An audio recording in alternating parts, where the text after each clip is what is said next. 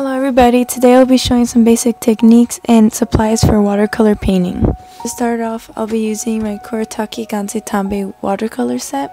These come with 36 different colors and they're easy to use pens which I highly recommend for beginners as not only are they affordable but they're highly pigmented and you can fit three different colors in an Altoids tin can easily and take it with you everywhere. I personally put the primary colors.